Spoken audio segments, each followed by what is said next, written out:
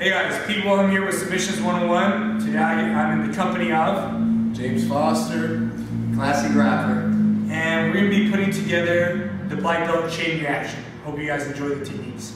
Right now we're going to put together the part one of the chain reaction.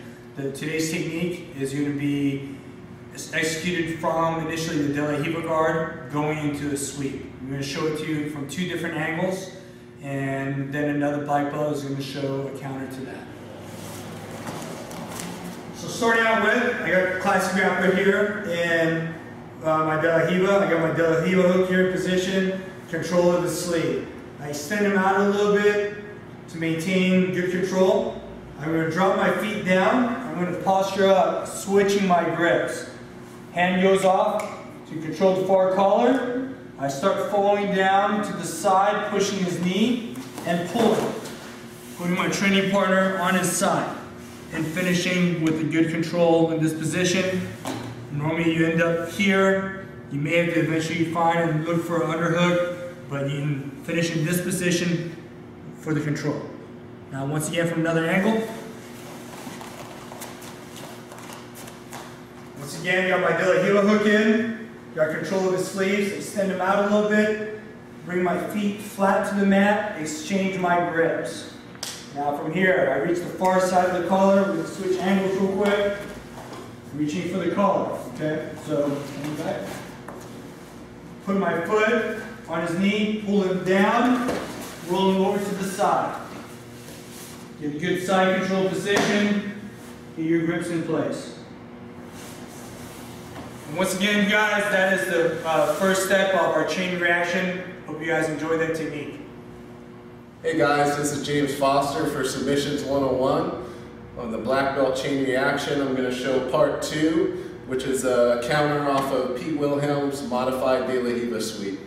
So here, we've gotten our sweep. We've ended up in side control. We're over the top of our partner's arm. From here, what I'm going to do is I'm going to let him feel like he can take this underhook. And as I start feeling my partner take the underhook, this arm's going to swim back and come around down mid forearm or lower. So here I'm going to catch it. So it's going to slide down, catch it mid forearm or lower towards his wrist. The other arm's going to swim over the top. I'm going to block this elbow. I'm going to get my own wrist. Push the shoulder forward, catching this in my armpit. So you can see it's bending his wrist here. I'm catching it in the armpit. I'm going to bring my chest and my shoulder over the top of his wrist and bring my weight down for the wrist lock. So again, another angle. We're here, we come off of a sweep. We're over the top of our partner's arm. My partner instinctively goes for the underhook. I swim back, catching his mid forearm. My arm's gonna swim over the top of his head, I'm gonna catch his elbow. Now, I'm gonna grab my own wrist like a figure four, pushing my shoulder forward and bringing his elbow to the mat. It's very important that I get his wrist in line with his elbow. So I'm gonna push this forward to bring this in line. This needs to be in line.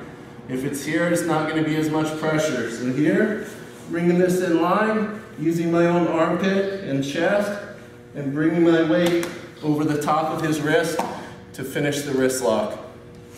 We're going to be working off the third part of the black belt chain reaction. As we saw in the last one, uh, James Foster worked this awesome wrist lock, and we're going to feed off of it where someone's actually going to try and counter, and we're going to get into a knee bar. So, here, we're in the tough side control, and the guy starts swimming his arm under to get the underhooks as I'm going for that wrist lock. But he starts to counter with his inside leg to trap mine. As he counters, Piet starts pushing and driving through to get me off, almost taking my back. From here, guys, my inside hand comes out and rolls through the inside of his leg, and my head follows through on the outside.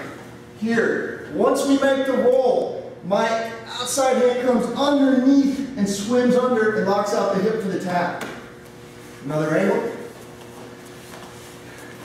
So you guys can see the foot placement. We're here I'm swimming under for that wrist lock, but Piet beats me to it and he traps my leg. He starts to drive and get me off center. From here, once he gets up, guys, he's gonna try and take the back. My free inside hand now comes over and guides my body into a roll. And it comes through the inside of both of our legs. My head comes out to keep the pressure off my neck as I roll through. Once I start to flatten out, the outside arm swims underneath to trap the leg as I extend my hips for the tap.